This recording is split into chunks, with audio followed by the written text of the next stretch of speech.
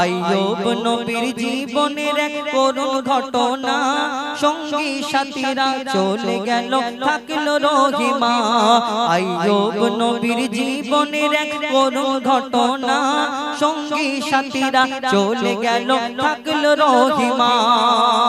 সব যখন চলে গেল, বাচ্চা কাচ্চা মারা গেল, সবকিছু যখন তছনছ হয়ে গেল, বিবি রহিমা তানাকে নিয়ে সেই ঘা অবস্থায় তানাকে নিয়ে কি করে? কবি ছন্দের মাধ্যমে আরও কি লিখছে দেখুন। কুষ্ঠ রোগেতে আয়ুব নবীর পচে গেল পা। গ্রামবাসীরা সব বলে দিল, অন্য কোথাও যা। বিবি রহিমা সাথে নিয়ে রহিমা সাথে নিয়ে, অন্য গ্রামে যায়। সেখান তাড়িয়ে দিল দুর্গন্ধের শেষকালে তারা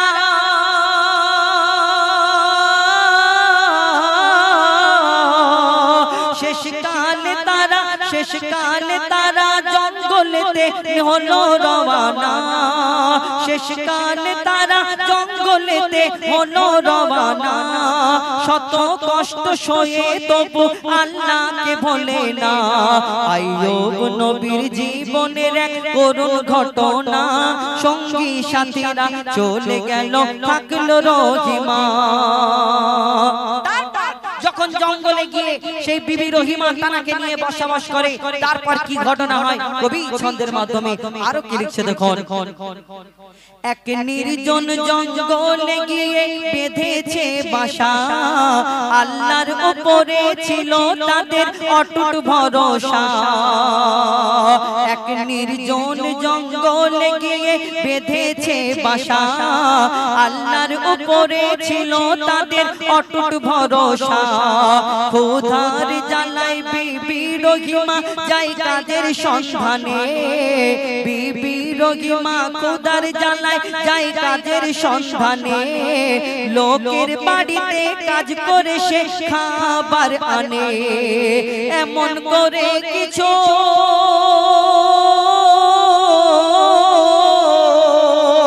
এমন করে কিছু সময় কাটায়। তারা দেখো না। আল্লাহর ইবাদত করতে ভোলে না। আইয়ুব নবীর জীবনের এক করুণ ঘটনা। সঙ্গী সাথীরা চলে গেল, থাকল রহিমা। সঙ্গী সাথীরা চলে গেল, থাকল রহিমা।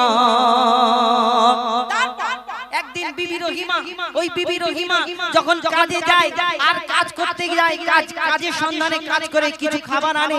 দুই স্বামী স্ত্রী মিলে যখন খায় তারপরে একদিন যখন কাজের খোঁজে গেল জঙ্গলেতে সেই কাজ পাচ্ছে না। আর তখন একটা ইহুদির বাড়িতে গেল সেই ইহুদি বলল দেখছে যে বিবি রহিমার বড় চুল ছিল লম্বা চুল ছিল তো বিবি রহিমাকে পরীক্ষা নেওয়ার জন্য বলছে ও বিবি শোনো তোমাকে কোনো কাজ দেওয়া যাবে না কোনো খাবারও দেওয়া যাবে না যখন বিবি রহিমা বলে আমার স্বামী অসুস্থ। ক্ষুধার জ্বালায় কাতর হয়ে আছে। একটু খাবার দিতে হবে। আমি পরে তোমাকে ফিরিয়ে দেব। বলে না শোনো তোমার যে চুল আছে সেই চুলটা কেটে আমাকে দিতে হবে। তবে আমি এই চুলের বিনিময়ে তোমাকে খাবার দেব। তারপরে এখানে ওইখানে খুঁজে যখন কোনো কাজ পাইনি কোনো খাবার পাইনি তখন শেষকালে বিবি রহিমা সেই চুল কি করেছিল? কবি ছন্দের মাধ্যমে আরও কি লিখছে দেখুন একদিন রহিমা কাজের খোঁজে এক মহিলার কাছে যায় খাবার কিছু দিও আমায় কাজের বিনিময়। বলছে, মহিলা, খাবার দেব কাজের জন্য নয়। মাথার চুল কিছুটা কেটে দিও, দেব চুলের বিনিময়। বলছে রোগীমা বিবি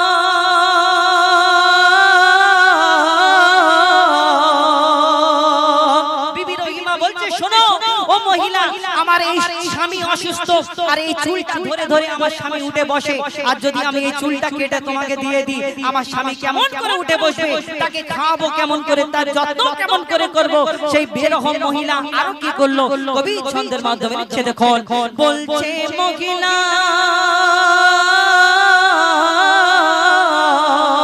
বলছে মহিলা মাথার চুল না ধরে বলছে, রহিমা, মাথার চুল না ধরে স্বামী উঠতে পারে না।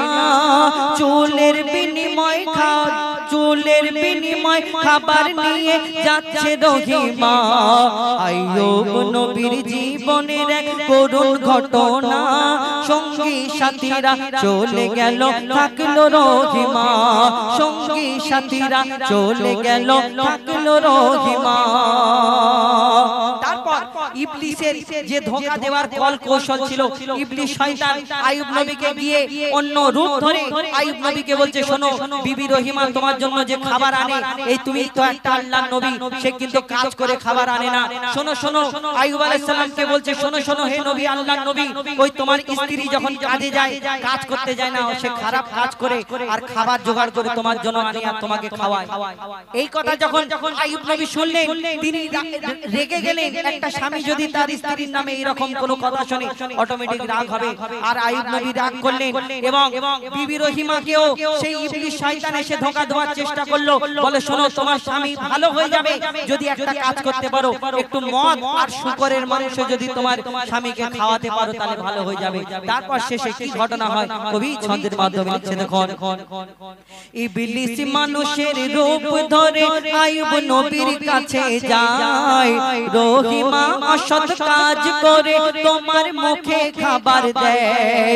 রহিমা আজকে ধরা খেয়ে চুল কেটেছে। তুমি খোদার নবী তোমায় হারাম খাবার দিয়েছে। বিবি রহিমাকে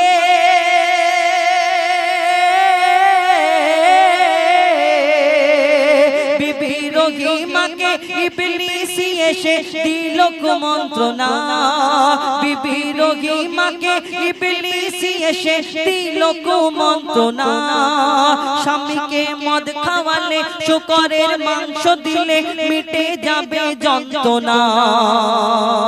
আইয়ুব নবীর জীবনের এক করুণ ঘটনা। সঙ্গী সাথীরা চলে গেল, থাকল রহিমা সঙ্গী সাথীরা চলে গেল, থাকল রহিমা সঙ্গী সাথীরা চলে গেল থাকল রহিমা। এর পরবর্তী অংশ মানে এর পার্ট থ্রি তিন নম্বর পার্টটা ইনশাল্লাহ আপনারা যদি শুনতে চান তারপর কি ঘটনা রয়েছে ইনশাল্লাহ আমাদের ইউটিউব চ্যানেল